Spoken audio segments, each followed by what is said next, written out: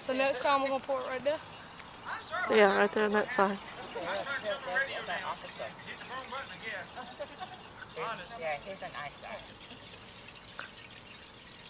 There he is.